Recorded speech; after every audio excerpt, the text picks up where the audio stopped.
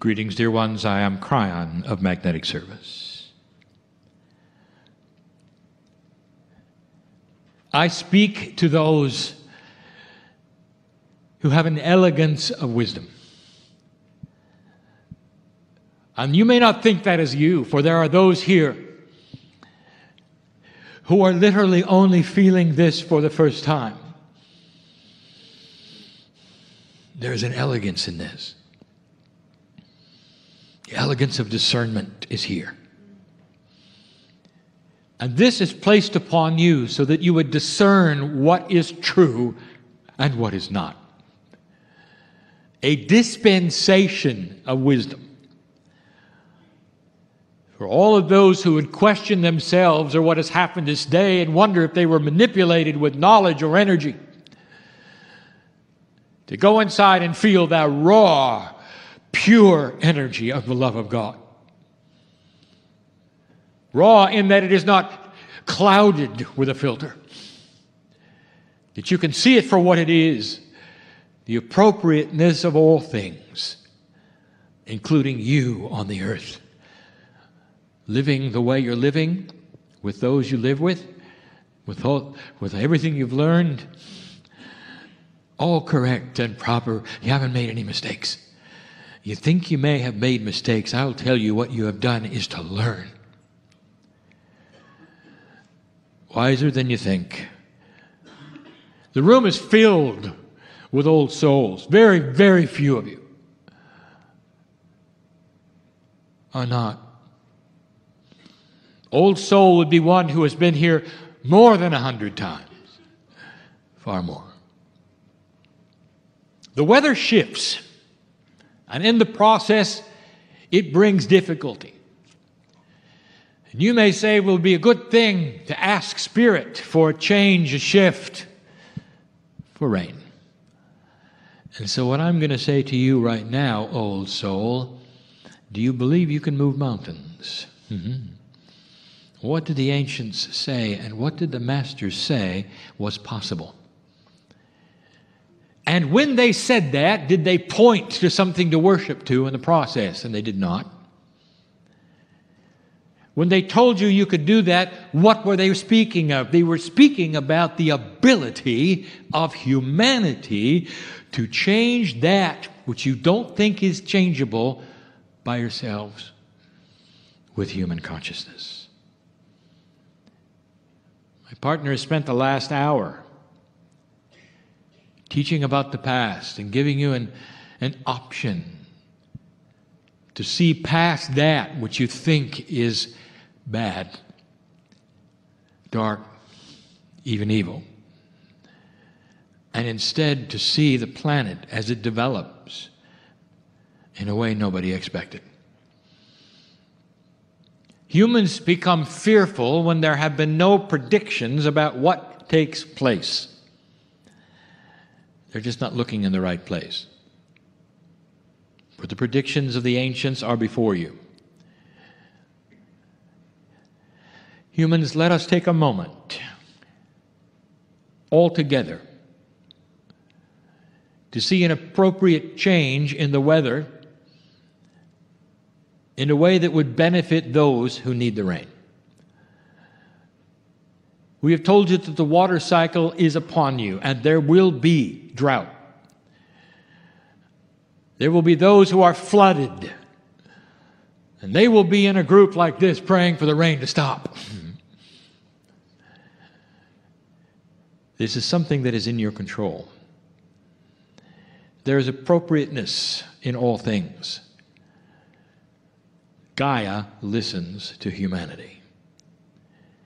And so that it is not so severe,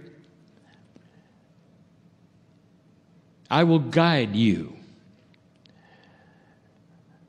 in a moment of time where you are going to see and visualize the weather outside this place change. For the weather in the region to change. Long enough to fill up the reservoirs, those things that are needed for life. Gaia has a plan and is going through a cycle which may not support this long term. But this is the now, and we teach that you are in control of it. So, with me right now, God is not in charge of the weather, you are. Gaia responds to human consciousness, that's you. Gaia has brought the water cycle upon this earth because of you. Gaia listens to you. And if you have any doubt about that, I want you to look into the ancients and what they knew and what they did and the ceremonies that created that which they needed. And you will find in them the same thing that you're doing right now with me.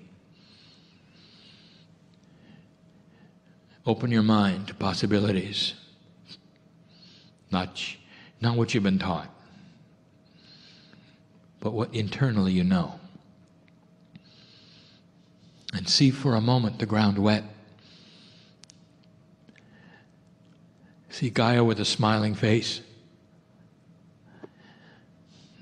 Hear that which you recognize as the water upon the ground and the noise the sky makes when it's about to give you that which you need. Hold this vision for a moment. Now claim it as a piece of divinity in you on this planet. You deserve it and you need it. In all appropriateness, if it is right, it will take place. Old souls make a difference on this planet. You carry weight with your wisdom. Do not put a time on it. For spirit does not. And spirit will not react, nor Gaia, to your clock. Instead, put the love of God on it. That which is appropriate for your life for now. And then stand back and create it. Mm-hmm.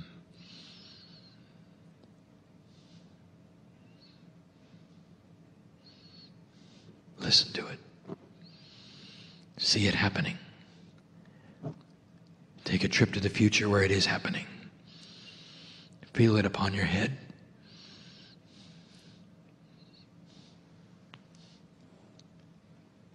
Blessed is the human being who knows they are a part of the plan and the system. These are the humans who will plant the seeds for peace on earth. And so it will be. The lesson this day is not an endurance event. We wish to get through part of the series that we are calling the recalibration of all things. We have given you information in the past about the recalibration of the planet, of humanity, even of the universe. Now we speak of the recalibration of dark and light and what it means to you. So I must define before I begin what I mean by dark and light. And then I will also define what I mean by the new 2012 energy.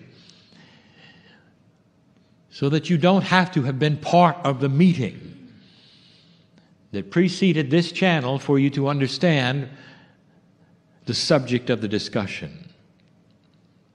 When I say dark and light to you, what do you think about?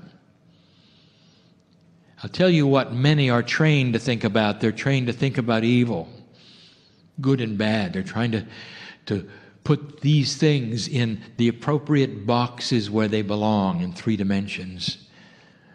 What your mythology would teach you about an entity with a tail, trying to capture your soul and the entities around that and the spirits that might work for that entity.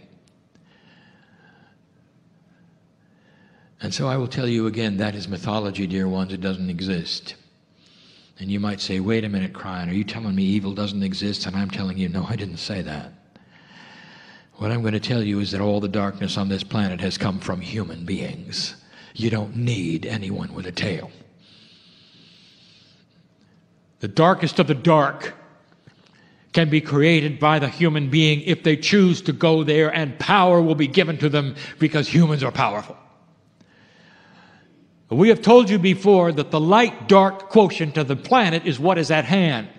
Those who carry light in a dark room will not have darkness. For the definition of darkness is the absence of light. But if there's so few of those who would carry the match, there's going to be a lot of darkness. And you are subject to that. For you will walk around in the darkness that other human beings have created. And you might call it system, you might call it government, you might call it finance. You might call it health, you might call it DNA, you might call it anything. All is affected, all of it, by the light and dark quotient of where humanity decides to put the balance. So that is the subject. What is the new balance of the new energy going to mean to you and that around you personally today? So, the definition of dark and light has to do with the human consciousness quotient.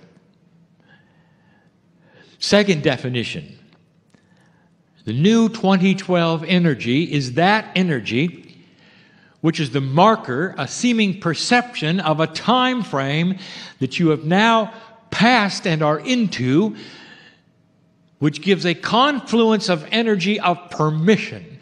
And the earth, being Gaia, begins to shift with you, for you, and the energy of the planet starts to become different. I gave a channel in what you would call Peru.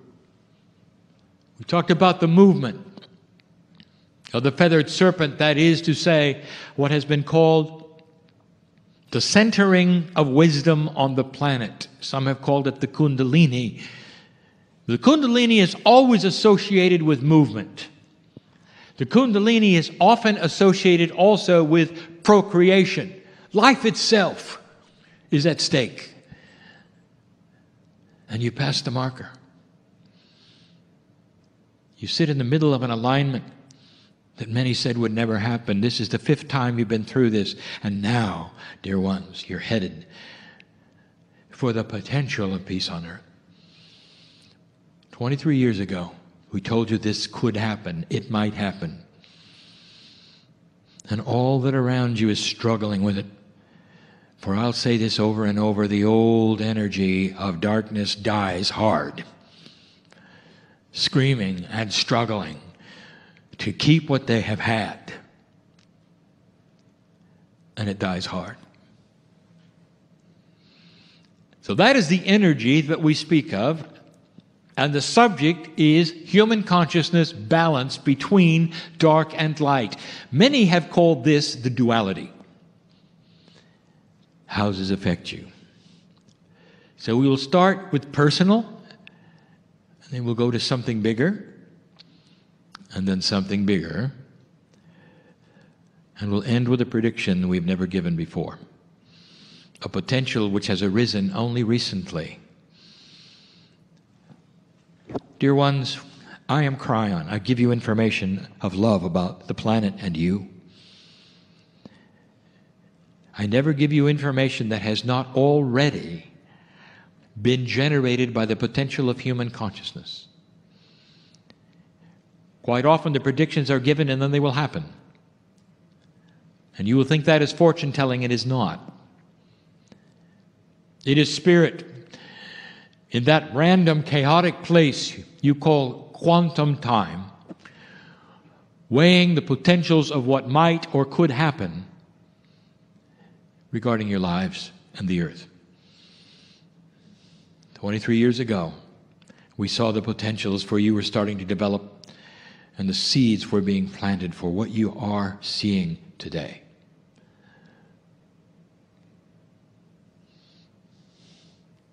And it's beautiful and difficult at the same time.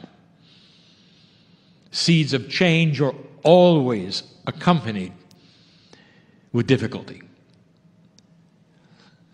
Even the most well balanced human will say, I have found the balance and here's how, and I maintain this balance. And then someone comes along and says, Yeah, well, we're going to we're going to change things. And you're going to go no i'm balanced. Don't change anything. For it to change means you're going to put a weight on one side of that balance scale and you're going to have to learn to shift over so that you center again and that's what you're going to be doing, and we call it recalibration. But let me tell you what it means. Now, I'm going to review a channel I just gave, and I'll make it short. An old energy has you protecting yourselves from darkness.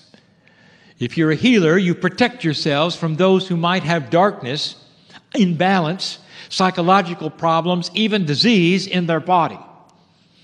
And you will do a number of things to make sure you're protected. And in the old energy, there was a process, there was a procedure. And I'm telling you right now that this is gone. This is a review. If you're constantly pushing light, darkness does not have a chance. We've said this over and over, and now it comes full circle to you personally. Wherever you go, it can't touch you. You listening to me? It can't touch you. The essence of your light is the love of God, and you are broadcasting it. Light worker, broadcasting it. There's one thing, not one dark thing that can get in there as long as you're broadcasting. And let me tell you how you could stop broadcasting and open yourselves up to go backwards instead of forwards. And that is if you say, I can't do it. Who am I? I'm not worthy. And there will be many who tell you you're not worthy. They will tell you you were born dirty. Who are you to think you're a God? How many said that to the master of love while he was suffering? Who are you to say you are the king? And I'll tell you who he was. He said he was the Son of God, and he said, You are too. And you can find that in his words in the red letter edition. red letter edition. God is in you. All the miracles I do, he said, you can do. He's the one who told you about moving the mountains or creating rain. He broadcasted light, and so can you. The meld that I gave my partner four years ago is the meld that you can take today, and that is to say, you walk around not with God inside, but with God outside also. Let me tell you what that means. We move on to point two drama, anger, frustration. And there's a lot of it. And when you leave the room, how much of that are you going to pick up? Depends upon the duality, doesn't it? If you are a light worker, a lighthouse on this planet that changes the, the quotient of light everywhere you walk, if what you do here makes a difference, I want to tell you one of the things that you're going to be given immediately, if you want it power over anger, frustration, and drama. Power over it. And you can't help the people around you. You just can't. They will flail and do whatever they want to, and then they'll go into anger and drama. They may even try to push your buttons. I think you know who I'm talking about. I know who's here. And they'll do it in order to get control over you. If they can affect you, You've fallen for it, haven't you? If a person can get dramatic, if they can get angry enough, if they can push your buttons, they won the battle. And for years, this has been a struggle because the balance of dark and light has always teetered in the middle. And the light worker had to work so hard to gain the upper hand for themselves, not of a, a relationship of give and take, but for themselves, so they would not be affected by the other. I hope you understand what I'm saying. Energy is being delivered to you as this earth shifts that is going to make it far easier for you to be in control of your own emotions no matter what is around you, no matter what. And you can stand there with all the angels on your side. and they can try all they want to affect you, and you won't react. I challenge you to do this. For there'll be those of you who walk into the workplace in a couple of days and will have a challenge. It is the way of it. When the old balance will still be there trying to assert themselves in an old way, not being aware you've changed. What happens when one person takes the high road? I tell you, eventually, that road is where the other person will want to be. Hmm? You don't just change you. I will tell you, dear ones, that what you do on this planet is seen by all. Every single small victory at home, at work, on the street with others, where you walk in a peaceful way where you didn't before, that's a victory, is seen by everybody. All of us know it. You ought to hear the applause in the sky when you walk from a place and know you did it. You didn't fall for it this time. Some of you know what I speak anger, frustration, drama. It doesn't have to be in your life at all. You've made the idea up as you walk from place to place that you may have to get out of town, get out of a relationship, get out of a job for things to settle for you. Now, I want you to rethink that for a moment. what happens if things start to change for you personally and the things that bothered you before don't? That changes the game, doesn't it? Now you can be in the same situations you always were, and yet it's completely different. You're not frustrated anymore. You don't get angry anymore. And those around you continue to spin. I'll tell you what will eventually happen that the spinners will see you. And they're going to come to you in private and say, How do you do it? I wish I didn't have to spin as much. They'll say, I see. I see that you You've changed. For some reason, you're not bothered anymore. For some reason, you have a smile, and I can see the love of God in you, and I want it. You don't gossip. You don't make other people wrong. You have a, an honoring for all people. When you open your mouth, I can hear it. Something changed in you, and I'd love to know what it is. And that, my dear human being, and only then should you open up and say, I found something I never thought existed. I found God inside me. That's powerful. Number three, are you aware of how your body is shifting? Allowing for you not only to heal yourselves, but to feel better as you do it and to start not aging as much. The dark light balance, this is complex. My partner goes slow on this planet, the balance of what has happened, what humans have done, stays here in what is called the crystalline grid.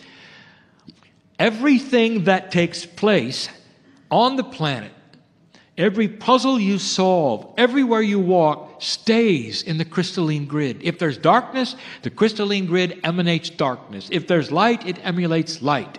For 23 years, and the last 18 in particular, you have changed the dark light quotient of Gaia. And in the process, your DNA starts to shift. It is quantumly tuned to the crystalline grid. That is to say, it then starts to shift, not only in you, but every baby that's born. You might say that the DNA field looks around at birth. When the child has free choice, that's where it begins. The DNA looks around and picks up the energy that is given to it by the crystalline grid, and that is the energy it will have for life. The kids are changing, they're different. Some of them are taking on quantum attributes. That's what's going on. The dark and light balance of the earth is affecting your DNA, and that means you can stay here longer no matter what you've been told. I'm talking to somebody who needed to hear that. We've given instructions on pure intent. We've told you that if you start a process of belief, where you literally go inside and become one with that which is your innate, innate is the spirit of intelligence of biology. You know it's in there. Why would you use kinesiology unless you wanted to know something you don't know? Hmm? Innate is what you talk to when you do muscle testing. Innate is the key. The dark and light balance becomes easier for you to contact your own cellular structure and start a process that will operate by itself as long as you continue to want light in your life. It's time for you to stop giving credit to the Almighty outside and give credit to the Almighty inside. Just like the Masters did. Just like the Masters did. Health can be yours. You can stop the aging process, dear ones, to the extent that you have it now. There's no reason why you should not live for 200 years at least. You're going to start seeing something in the next generation and the next generation, and that is extended life without science. It's going to start happening automatically. And it'll be a puzzle for the biologists. Why would humans start living so much longer? And they will say, well, maybe it's nutrition. Maybe it's this and maybe it's that. Maybe it's the lack of disease because we're curing them. They'll have all number of reasons and none of them will be accurate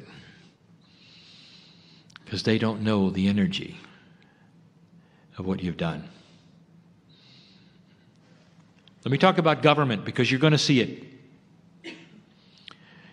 Governments for years, even those in some of your lifetimes and those of your grandfather's lifetimes, have looked around and said, Oh, I see that this country doesn't have the power we do. Let's simply take them.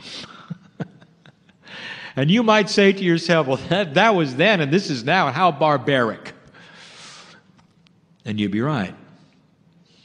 But let me remind you, that was about, oh, 30,000 years of history where they did that. That's the history of humanity. Whoever had the most power invaded the one who did not, if you noticed. And that is not in your consciousness. And when you see it on the planet, even on a small scale, it disgusts you, does it not? How can they do that? There's a respect for sovereignty, more than there ever has been before. You don't run across somebody's border and simply take something you like anymore because you have the weaponry. Governments change, attitudes change. So you might say, well, we licked that one, we've gone someplace, and you'd be right. Well, what about the next one? You're going to start seeing a change in the way government conducts itself. Believe it or not, you're going to start seeing that which has more integrity, and there'll be those who demand it, and those who will shrink from it, and there will be battles over it. You may even see in your lifetime the end to name calling during elections. And wouldn't that be something? Where one stands up and says, I don't agree with my opponent, but he's a patriot. And he loves the country. And this is what he stands for. I don't agree with him, but here's what I stand for. And that will have integrity, and people will vote for that person instead of saying, he's a bad guy. Look at what he's done, and look at the mistakes he's made. And oh, by the way, look at who he slept with. That's an old paradigm, dear ones. Well, I want you to watch for this. The first one who does it, and it'll be so obvious when it happens, will be a breath of fresh air in what you call politics, and politics will never be the same. A new paradigm. When you start seeing it in that arena, you know it's real. You're headed for an election year. Don't expect much change. I'm telling you that because the old energy is strong. It may take four more years, maybe even four more. When the indigos run for office, there will be a shift in the way they run, in the integrity that they have. They are conceptual and they can see the reaction of consciousness on those they talk to. And the ones right now can't. So we tell you that the dark and light balance is then going to change what? Who you elect. And it's about time. Don't look for it immediately, but it's going to be there. We are going to talk about review on financial systems. You have attacked them in the last five years. And the historians alive today would say that this is an impossible situation. You never could have done what you did. Now, many of you will sit around, and those hearing this will say, What are you talking about? All I know is that we're in a recession and I lost my home. Doesn't sound like something very exciting happened. And let me tell you yet again, as a review,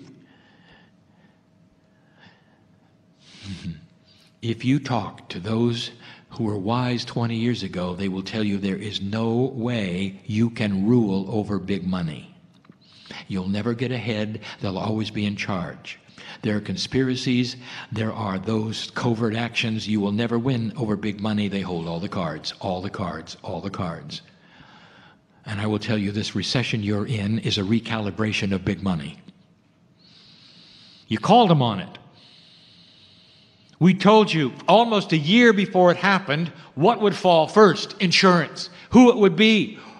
We told you it would be one of the largest insurance companies on the planet, and it was. It ought to, it ought to tell you this was in the works.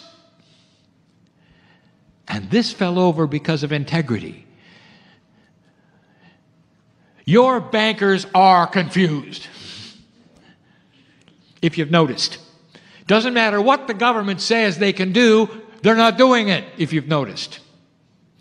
Why is that? Because there's an old paradigm of banking that they're trying to return to. They just can't believe it. And when they do believe it and start the new paradigm, you're going to start seeing an economy that works better than it did. And you will have done the impossible.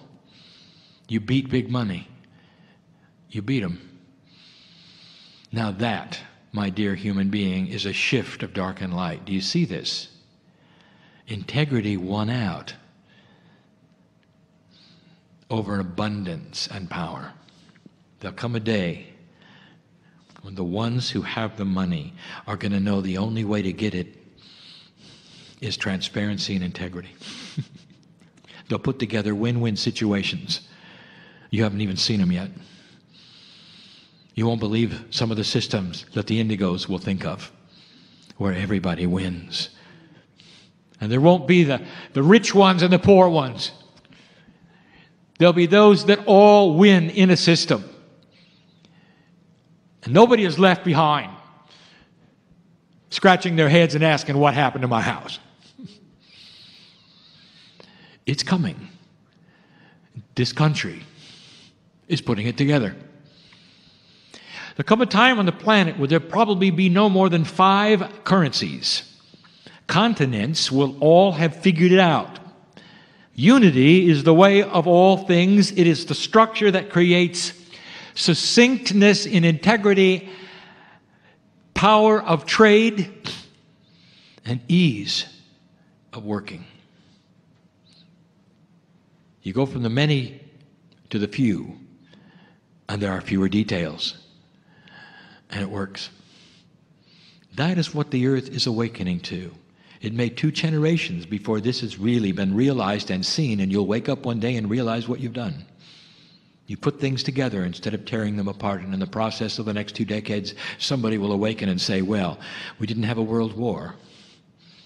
Isn't that something? And we're not going to, because everybody is trading with everybody. And we've got a balance that works. It's the Pollyanna approach, isn't it? And there will be those who would argue and say Kryon is not accurate. It's only a matter of time. We'll wipe ourselves out yet again. It's up to you whether you listen to them or not. They'll say the earth is coming to an end. Even those who will hang on to the last possible moment to say that December 21 is the end of the earth. This year, 2012. Get their phone number and call them on December 22nd. And ask them to join something that you know about now that their drama is over. To join you in planting seeds for peace on earth. Instead of wallowing in that which creates attention, drama. And they may just do it. They may just do it. And now the prediction, and then we close. I would not give you this information if it were not in the works. I cannot give you a time frame because spirit has no clock. We don't know what time it is. time is a three-dimensional construct of your own creation. It serves you for your survival. It has to be there. In 3D, you can't get from A to B unless you have a clock. In a quantum state, there is no A to B. In a quantum state, you're always in both places. Clocks do not exist. God has no clock. That is why when you get information about doing something, and we teach this, as many times as we can say, there is no clock. You wait for synchronicity. It's not an instruction to go do it now. Instead, it's a revelation of a potential that you will then create on your own time. You have something inappropriate in your country, it's big, and it has to do with big money. And it's going to fall. Perhaps in an unusual way. I cannot tell you when, but I will tell you it's ripe. It's ripe. Years ago, I told you when everybody knows everything, there can be no more conspiracies. You got to see it in another industry you call tobacco. When they were the king. But under the hood, as you might say, the integrity was not there, for they were addicting young people with the product they were selling. And you saw what happened. And it still today happens. It's happening country after country after country. They're realizing the same things, making adjustments. You see today the tobacco grown in your country, most of it is sold to the other countries who haven't figured it out yet. What took place there was a power of integrity over money. Yet again, we bring you this to show you what may very well happen. This is the prediction. Big Pharma is going to have to change very soon. When you have an industry which keeps people sick for money, it will not stay in the new energy. It's not going to remain that way. It cannot. And these things of the past, the old energy, the big money that is involved in this circle, is going to be revealed slowly. There are going to be embarrassed faces to think of an industry that's supposed to cure people, keeping them sick on purpose. And they will fall, and you'll know their names. And they're going to have to scramble to keep up with the rest of the world who may not have the proclivities they have for greed. That's the prediction. When it starts to happen, dear one, and perhaps the movie starts it, dear one, the one that's in the works, dear one, I want you to remember where you heard it first. And maybe that will solidify something that this is real, that the channeling you hear today comes from the source that we say it does. That's the source inside you, free to you. The love of God that loves you because you are family. When you're not here, you're with me. I know your face. I know who you are. I know your real name, not the one you've got right now. That is the truth of the day recalibration is upon you. We'll continue this, this cycle of revelation, and many things will be revealed. It's time.